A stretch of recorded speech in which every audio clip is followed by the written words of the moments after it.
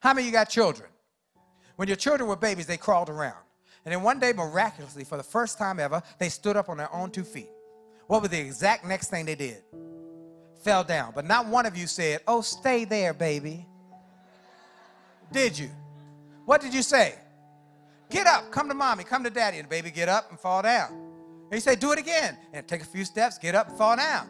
And you say, do it again. Now, sometimes the baby fell on their backsides, but sometimes the baby fell on their face. And you not only allowed them to fall on their face, you encouraged them to do it again.